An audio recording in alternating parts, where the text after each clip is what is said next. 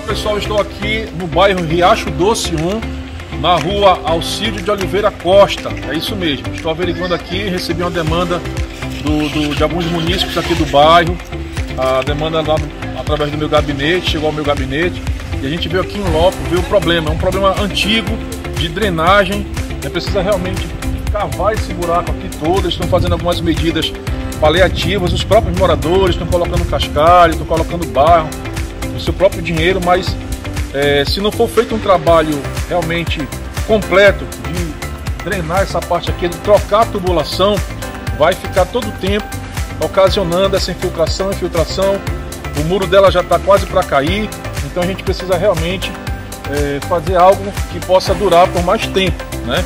Então aí o, o vereador, o gabinete do vereador Raif se compromete em mandar isso através de um ofício para o nosso secretário Marco Rota, lá da Seminf, para que ele possa trazer a sua equipe aqui e fazer um, um serviço decente, um serviço que realmente possa dar mais qualidade de vida aqui para os moradores dessa rua e do bairro Riacho Doce 1.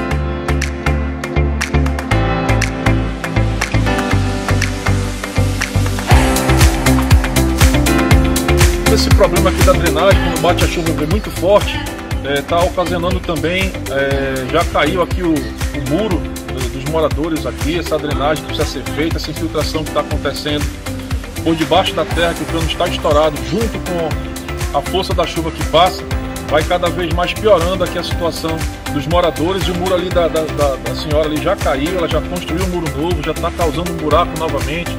Então realmente é algo que precisa ser feito de forma completa, você fazer um serviço decente, porque com certeza a população aqui do Riacho Doce 1 é o que espera da prefeitura e merecem sim, porque pagam seus impostos em dia, tá bom? Pessoal, aqui no Riacho Doce 1 está bichado, muito bichado, em breve quero poder voltar aqui e dar um tachibata, parente, mas no momento está bichado, parente. Um abraço, até logo!